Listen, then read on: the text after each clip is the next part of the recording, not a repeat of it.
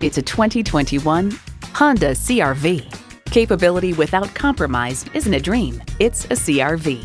A great vehicle is comprised of great features like these.